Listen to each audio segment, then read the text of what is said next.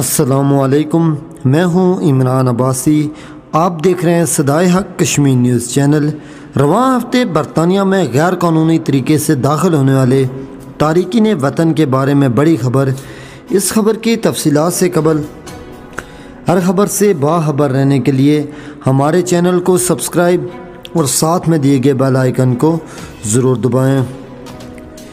London छोटी किश्तियों के ज़रिए गैर कानूनी तरीके से बरतानिया में दाखिल होने वाले तारकिन वतन को तीन मुख्तलिफ़ परवाज़ों के ज़रिए रवा हफ़्ते फ्रांस जर्मनी और स्पेन भिजवाया जाएगा। होम ऑफ़िस की तरफ़ से इनकी मुल्क बदरी के लिए तमाम तर इंतज़ाम व इकदाम कर लिए गए हैं। मस्कूरा ता, मस्कूरा तारकिन वतन गैर कानूनी तरीके से मुख्तलिफ़ ममालिक से बरतानिया में दाखिल हुए और वह बरतानिया में मुस्तकिल सकूनत इख्तियार करने के लिए सियासी पनाह के ख्वाहिशमंद थे। यूरोपीय यूनियन के कवानीन के तहत ऐसे तारकिन वतन जो पहले ही किसी दूसरे यूरोपीय यूनियन के मुल्क में तारकिन वतन की हैसियत का दावा कर चुके हैं के लिए वापसी के दरवाजे खुले हैं। होम ऑफ़िस को गैर मुल्की तारकिन वतन की जला वतनी के हवाले से नई सफ़बंदी का सामना करना पड़ सकता है।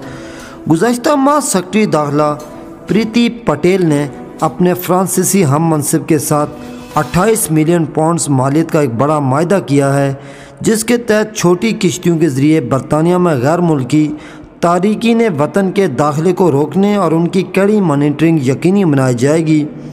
माहे के तहत फ्रांस अपनी समुद्री हदूद में सिक्योरिटी हलकारों की तादाद को भी बढ़ाएगा, मगर इस माहे के बावजूद गैर कानूनी तारकिन वतन की सौ फ़ीसद नकलो हमल नहीं रोकी जा सकती। रवान सावल आठ हज़ार पाँच सौ गैर मुल्की तारकिन वतन छोटी कश्तियों के ज़रिए गैर कानूनी तौर पर बरतानिया में दाखिल हो चुके हैं।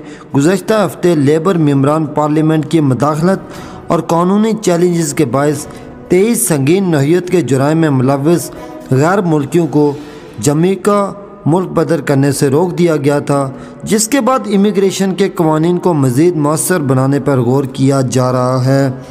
सेक्रटरी दाखिला प्रीति पटेल गैर मुल्की तारकिन वतन की नकल अमल रोकने के लिए तवील अरसा से जदोजहद में मसरूफ़ हैं और फ्रांस के साथ माहा भी इसी सिलसिला की एक कड़ी है। इंसानी हकूक़ के कवानीन को एक्ट उन्नीस सौ अठानवे के मुआफ़ देखने में भी गौर किया जा रहा है।